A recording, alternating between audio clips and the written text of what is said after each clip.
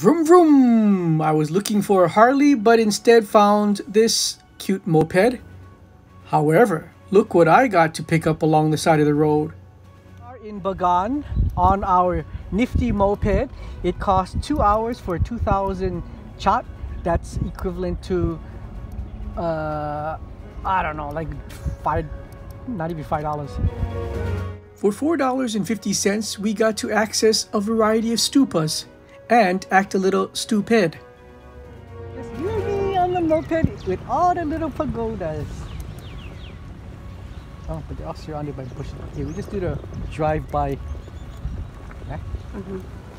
We aimlessly went down any path we came across, jumped off the moped, and just started walking in any direction. Ah, this is fun. You want to go one more time? Yeah. Yeah, because there's so much to see. We went inside this pagoda and found this woman selling lacquerware. We bought a whole bunch of stuff and made her day. Uh, anybody seen my moped?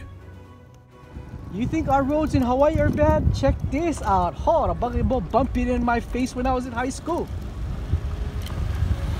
Hi, hi. Hi. Here are extremely friendly. Look at this one, honey bear.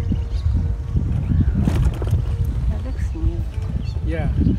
Well, it look like what's hotel. This is the largest structure in Bagan. The Dhammayangyi temple is 255 feet in height. Its vaulted ceilings are so high, bats have moved in.